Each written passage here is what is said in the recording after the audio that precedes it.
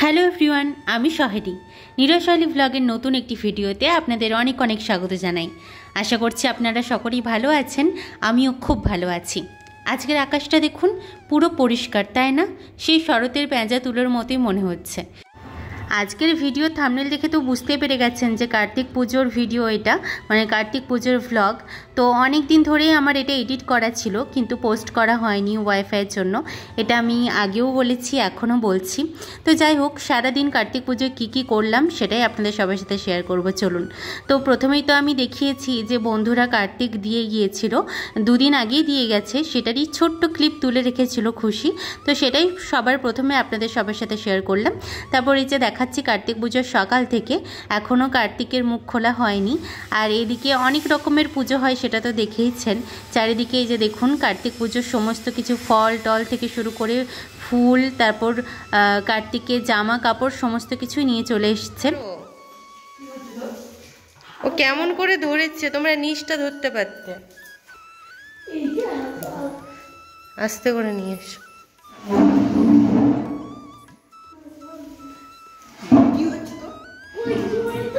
এইদিকে ঘোরাও হ্যাঁ।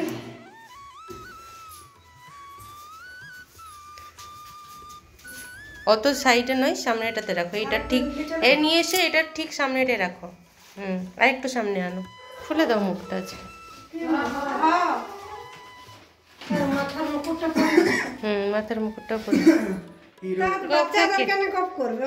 হ্যাঁ।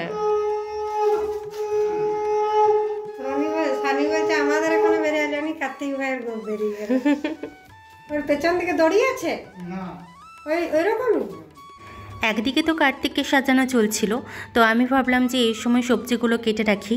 জেঠিমণি করছিল, তারপর জেঠিমণি খেতে চলে গিয়েছিল, সেজন্য আমি ভাবলাম যে আমি কিছুটা এগিয়ে রাখি। তো পুরনো বাড়ির ব্যালকনিতে এগুলো হচ্ছিল। আর অন্যবার তো রান্নি ঠাকুর ডাকা হতো, কিন্তু এবারে আর রান্নি ঠাকুর ডাকা হয়নি, কারণ খুব কম মানুষকে ডাকা হয়েছিল, করার কথাই ছিল না। কিন্তু ওই যা হোক করে করব বলে মানে নিরয় তো আসেনি, সেহেতু আমাকে একাই বসতে হবে। আর বাড়ির সবাই উপোস ছিল বলতে পারেন। তো মোটামুটি যা হোক করে আর কি করা অল্প হলেও করতে হবে, সেজন্যই করা। তো এদিকে দু ভাইপো মিলে সাজানো শুরু করে দিয়েছে। সামনেটা কীভাবে রেডি করবে, কীভাবে একটুখানি উঁচু করবে সেটাই করছিল। আর অন্যদিকে মা দিদি ভাইরা মিলে ওই কাতুর জন্য সমস্ত কিছু খাবার রেডি করছিল। যা যা ওখানে নিবেদন করা হবে সমস্তটাই ছিল। লক্ষ্মী পুজোর মতোই পুরোটা। আমি তো এই প্রথমবার দেখলাম। দেখেছি আগে, কিন্তু সেভাবে নিজের তো সেভাবে দেখিনি। তো মানে পুরোটা যে করা, পুরোটা প্রথম থেকে শেষ পর্যন্ত করা, সেগুলো আমি কিছুই দেখিনি। তো এটাতে দেখছিলাম। তবে হ্যাঁ লক্ষ্মী পুজোতে যা যা ছিল মোটামুটি তাই তাই। শুধু এই যা রানী ঠাকুরকে ডাকা হয়নি, আমরা সমস্তটা নিজেই করছিলাম। সানি? দেখাও এদিকে। পিছন দিকে। পিছন দিকে তাকাতে জানো না?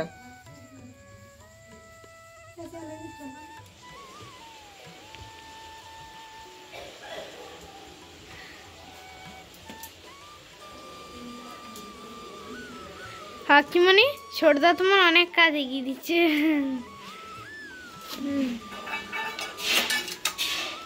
তোর মুখটা দেখাও ঘরে পরে লক্ষ্মীরা রাখো ছোটদা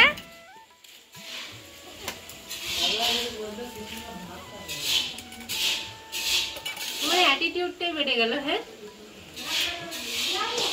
দেখছ দেখছ অ্যাটিটিউডটা তুমি ঠিকই বলেছিলে মেয়েরা যেখানে থাকবে ছোটদাও সেখানেই থাকবে ব্যাস হয়ে গেল শেষ সানি শেষ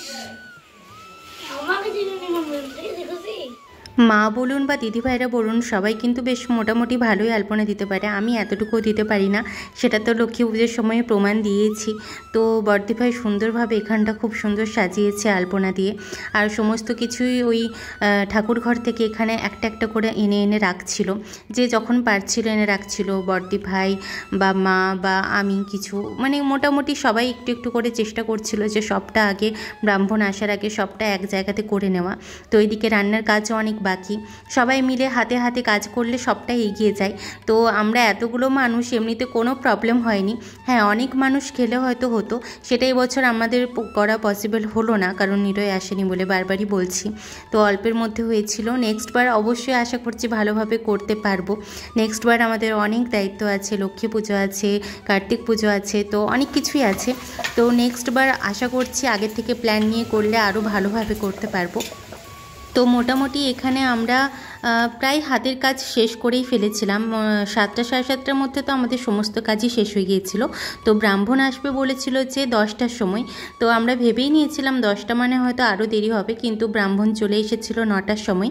আর নটার সময় পুজো শুরু হয়ে গেছিল এখানে একটা কথা বলে রাখি যেটা খুব গুরুত্বপূর্ণ। কার্তিক পুজোতে শুনেছিলাম যে মেয়ের বাপের বাড়ি থেকে সমস্তটা দেওয়া হয়। মানে মেয়ের যা মানে শাড়ি থেকে শুরু করে কার্তিকের জন্য সমস্তটাই মেয়ের বাপের বাড়ি থেকে দেওয়া হয়। কিন্তু আমার তো সেরকম একটা সিচুয়েশান ছিল না। তো দিদি ভাইয়ের বাড়ি থেকে মানে দিদি ভাইয়ের বর্দি ভাইয়ের বাপের বাড়ি থেকে দাদারা সমস্ত কিছু কেনাকাটা করে দিদি ভাইয়ের সাথে দিয়ে পাঠিয়েছিল। দিদি ভাই দুদিনের জন্য গিয়েছিল বাপের বাড়ি। তো সত্যি এটা কিন্তু আমি একেবারেই আশা করিনি। আমার এত ভালো লাগল ব্যাপারটা। আর সত্যি এখানে আসার পর থেকে শুধু এই বাড়ি নয় এই বাড়ির সাথে জুড়ে থাকা আরও যে বাড়িগুলো আছে, প্রত্যেকেই কিন্তু আমাকে খুব খুব ভালোবেসেছে। আমার খেয়াল রেখেছে, আমার কথা জিজ্ঞেস করেছে।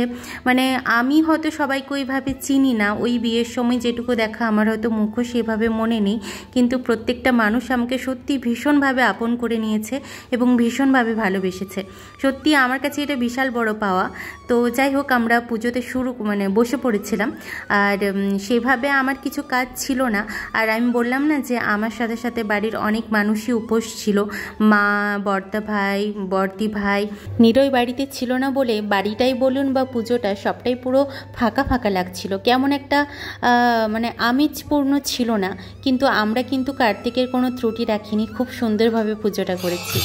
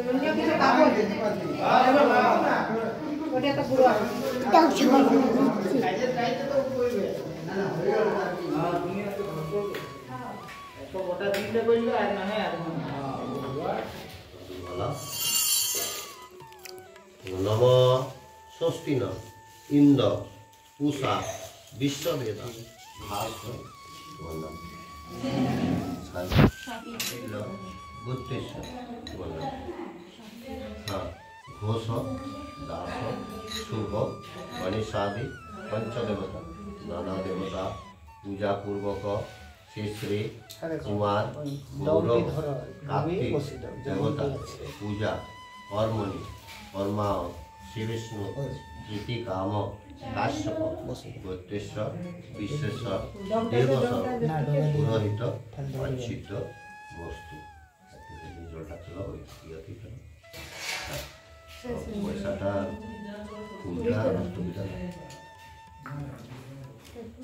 Жигана.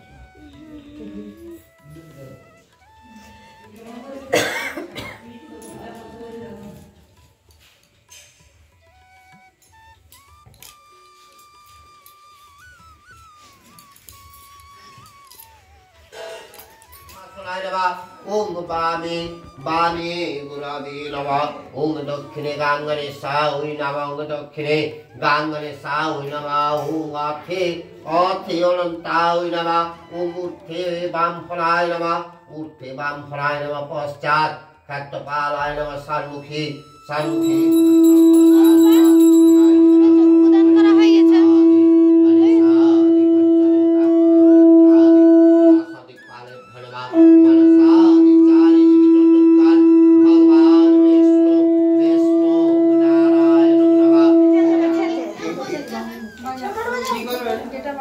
এটা একটু ঘি লাগিয়ে কালী দরকার আচ্ছা দুধ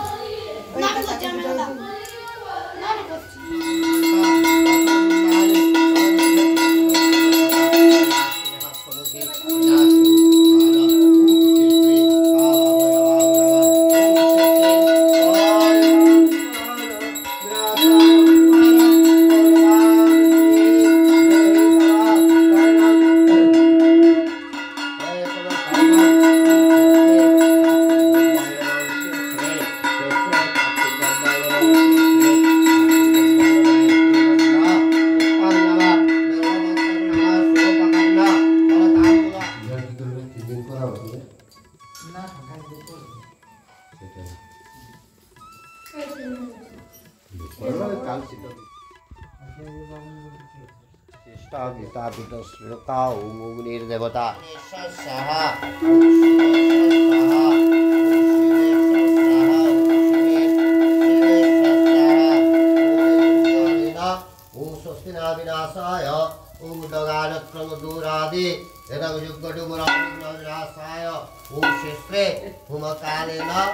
ओम ओम ओम भूर्भुवस्सा सम्मान भगताम्बुल विश्वरत्न केशवा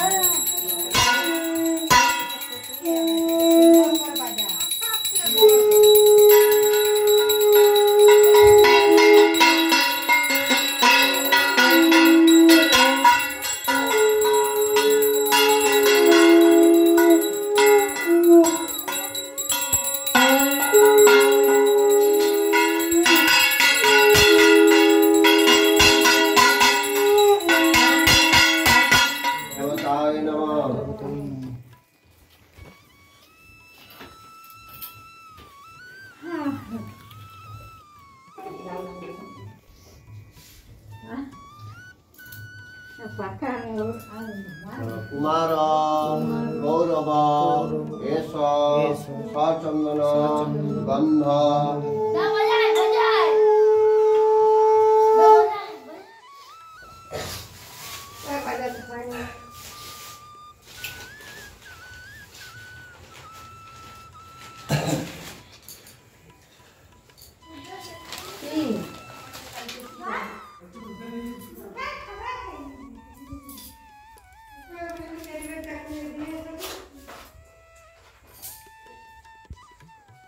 হলো ভাইয়ের পূজা। তুমি ভোলা ভাই। কেন তুমি দাদা হচ্ছে। মা মা ঠাপনি সবাই ঘুমাবে দাদাদের দায়িত্ব। ব্যাস পুজো শেষ। এবার খাবার পালা, কারণ আমরা এই কয়েকজনই বাকি ছিলাম খেতে, আর সবাই উপোস করেই ছিলাম। না ছোট্টা ভাই উপোস ছিল না, কিন্তু সন্ধ্যের পর থেকে ছোট্টা ভাইও কিছু খায়নি। তো সবাই একসাথেই খেতে বসেছিলাম। ফার্স্টে প্রসাদ, তারপর খাবার। এই জাস্ট খেয়ে এলাম। আর পুজো শেষ হয়েছে, আধ ঘণ্টা হলো। একবার ওপরে এসেছিলাম ড্রেস চেঞ্জ করেছি। তারপর আবার নিচে নেমে গেছিলাম। খেলাম এই জাস্ট তো যা হোক করে পুজোটা কাটালাম। এবারে তো সেভাবে পুজো করতে পারিনি, আগেই বললাম যে নিরয় আসেনি। তো একাই পুজো করতে হয়েছে।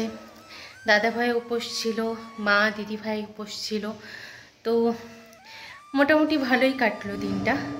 কতটা কি দেখাতে পেরেছি আমি জানি না, কারণ ওই যে একটাই প্রবলেম যে সেভাবে শ্যুট করে দেওয়ার মতো মানে ম্যাচিওর কেউ ছিল না। এদের কাছে তো এতটা ইন্টারেস্টেড নয় এগুলো। তো যতটা আমি তুলে ধরার চেষ্টা করেছি, অতটা পেরেছি, তুলে ধরেছি। যাই হোক, কেমন লাগছে ভিডিওগুলো অবশ্যই জানাবেন। এবং নতুন ভিডিও আসা পর্যন্ত অবশ্যই সকলে ভালো থাকুন, সুস্থ থাকুন।